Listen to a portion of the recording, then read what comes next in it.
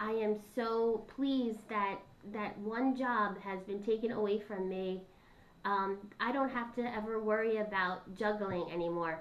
Um, as long as I'm working and my paycheck is uh, coming in, my husband's paycheck is coming in, I can tell the system that, yeah, the money's there, so tell me what I should be doing this week with my money. And uh, that's really important because I'm a dental hygienist and I'm nothing to do with finance, so, and I stink at it, so without this system, you know, I've just been continued going further into debt and just taking forever to get out of it. Um, I'm so psyched. I wish that I had started the program earlier.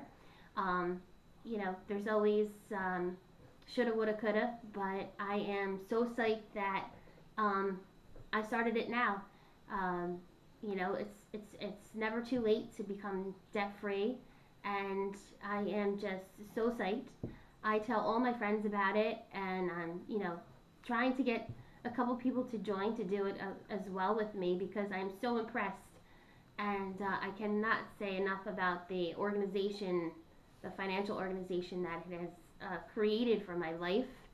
Um, everyone was so helpful. Um, Tyler is my uh, he's my new best friend over at the company. I always call him if I have any questions, concerns, and he's always been really motivating and encouraging. And um, I definitely uh, give him credit for getting me into this program.